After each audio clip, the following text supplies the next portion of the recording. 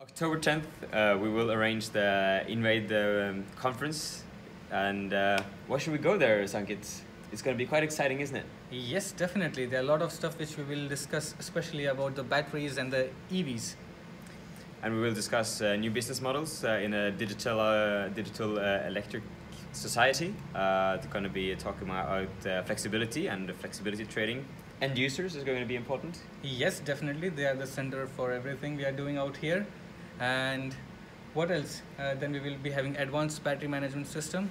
So we will be talking a lot about what will the battery management system in the future in the digital grid look like. And we will also showcase actually how this technology is being utilized already in uh, the Invade pilots, which are uh, placed around Europe. So it's definitely going to be uh, interesting. So hope to see you there.